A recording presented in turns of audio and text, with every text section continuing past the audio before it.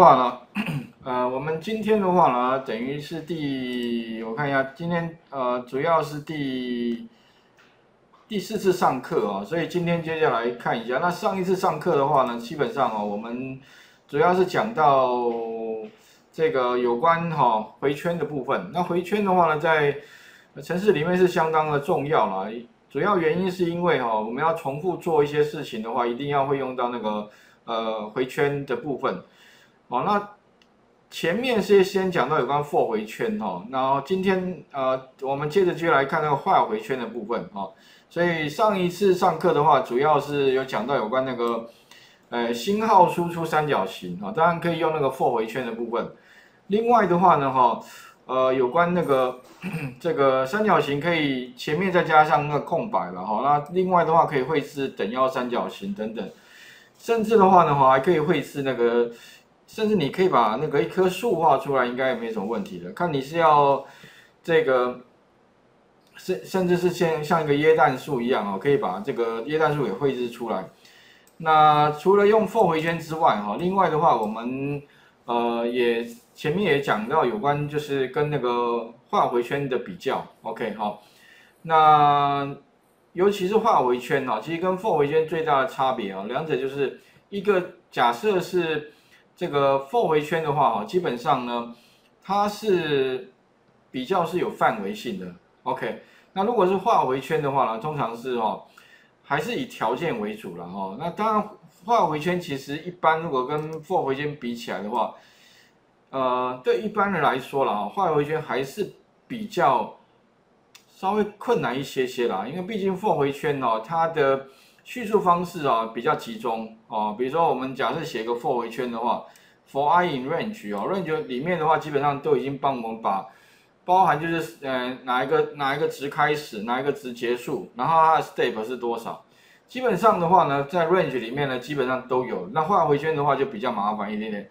那画回圈的写法，我是建议呢，前面我有一个比较自己习惯的写法，就画一冒号。OK，那画一冒号的话，就是说不管怎么样，反正你就先做，你就先进到回圈。一的话指的是 true，好，画有 true，好，就是说反正呢，你就一定要帮我进到回圈。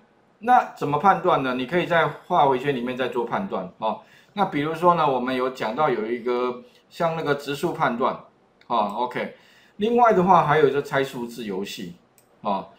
那比如说呢，哈，这个猜数字游戏，哈，这个部分的话，我们上一次是讲到这个猜数字游戏的写法哦，包含这个这个地方，我们是，呃，如果有次数限制的话，我们可以改成 for for 回圈啊，for i in range 啊，然后呢，从第一一到四停下来，那也就是一二三执行，那四的话就不执行，OK 啊，你可以写成 for 回圈，不过是有次数限制的话。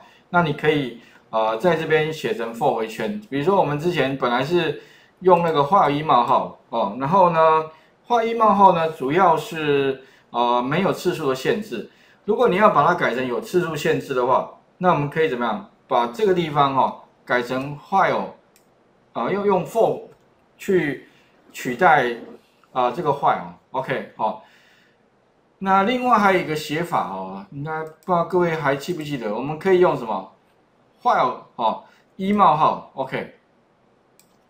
那这个地方的话呢，呃，反正呢，只要这个执行之后的话，啊，那我们再来做什么？就是让它去这个得到一个区猜的值，OK。那其实啊，这个画一冒号呢，同学有些同有些有些同学问说。那如果假如我不写成画一冒号的话，哎，是不是可以可以用另外一一个方式来来叙述啊？啊，当然对了。不过如果说你假设哈用另外一个方式叙述的话，我是觉得相对程式会比较复杂。哦，比如说哪些地方比较复杂哈？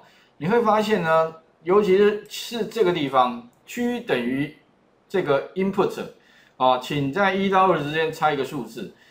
如果说没有一冒啊，画一冒号的话，哦，你会发现哦，判断完之后要继续再 input，所以其实如果说假设你不是用画一冒号，这边可能要改成什么？哎，什么情况下会进到回圈哦？诶，理论上应该是他没有答对的时候，所以没有答对的话，再去做判那也就是说，G 输入的值哈不等于什么呢？那个乱数 RND 嘛哈，所以当那个输入值不等于 RND 的话，那去判断，那你会发现啦，这个时候呢，如果你不是写成画一冒号的话，那势必哈你必须怎么样？先在这边先输入，输入完之后再判断，然后呢再来做什么？如果说假设不是画一冒号的话哦，那更麻烦，就是说我们理论上只要哈做一次输入，但是如果说你假设不是画一冒号，变成你要在逻辑 true 跟 false 的这个里面呢，要继续再做做输入，所以相对起来哈，我是觉得没有用坏一冒号来简洁了哈，这个可能要特别呃注意一下，OK。那相关的这个城市部分的话，哦，我是把它放在那个云端白板里面，OK，所以你们其实要得到参考的话，可以从那个我们云端上面，哈，应该大家都还记得吧？看一下，OK，好，那所以呢，待会的话呢，哈，请各位一样先把那个上一次上课的部分呢先开起来，那待会我们再来看一下有关哈，就是稍微比较一下了哈。如果我今天呢，假如同样的东西，好像之前我们是猜数字，有有没有啊？就是是一直猜到对为止。另外呢，改成就是只能猜三次嘛，所以后来我好像改了一个这个只能够猜三次的版本啊。那这拆三次的版本呢，我有两个，一个是 for 回圈的版本啊，一个是在 while 回圈里面哈，加上什么？加上一个。计计次数的这个部分，好，OK。那另外的话呢，哈，我还有在云端上面哈放个比较，就是说呢，如果我今天呢想要把同样的程式哈，哎改成 VBA 的话，那该怎么写啊？这里的话，因为 VBA 其实它程式的逻辑跟这个呃刚刚讲的这个 Python 其实一模一样嘛，哈。那你会发现哦，只是稍有语法不太一样，哪些地方不一样哦？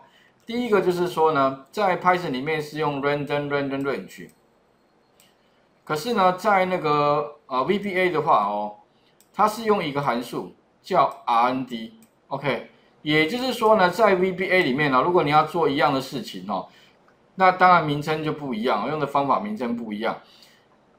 那另外的话呢，在那个 VBA 里面一样会有一个坏坏回圈，哦，在 Python 里面是 while 一冒号，有没有啊？可是，在呃 VBA 里面它叫 do 坏哦哦，习惯上是用 do。另外的话，do 坏哦，它必须要接一个 loop。OK，那可是，在那个啊 Python 里面呢，就是 while 一冒号，后面不用接了哈。那其他的话还有哪些地方不一样？输入的话呢，我们是用 input box 啊。